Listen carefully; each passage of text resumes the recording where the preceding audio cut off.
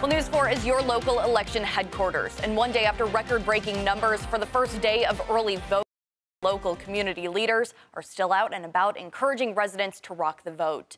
Organizers of Souls to the Polls held a rally and motorcade today with many Buffalonians taking the trip from Broadway Avenue to an early voting site at Saints Columba Brigid Church on Hickory Street.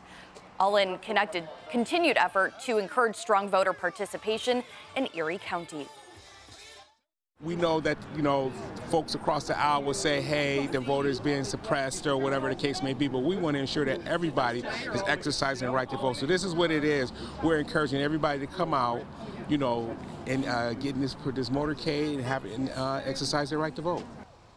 Early voting is happening now until November 3rd. Polling sites will be open again tomorrow morning. And for a full list, head to our website, WIVB.com.